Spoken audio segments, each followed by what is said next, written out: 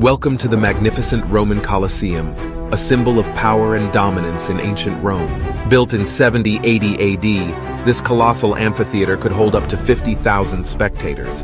Imagine the excitement as the crowd gathers, eagerly anticipating the bloodshed and spectacle about to unfold.